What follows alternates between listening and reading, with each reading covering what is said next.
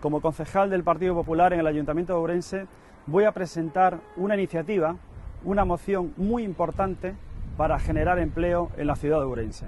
Tenemos conocimiento que Renfe está descentralizando sus servicios centrales que tenía a día de hoy en Madrid en otras ciudades de España, siguiendo las directrices de reto demográfico.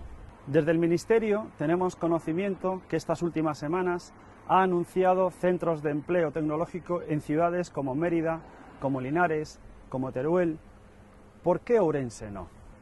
Si somos una ciudad que cumplimos los mismos requisitos de reto demográfico y somos una ciudad que tenemos la misma o más cultura ferroviaria que ellas.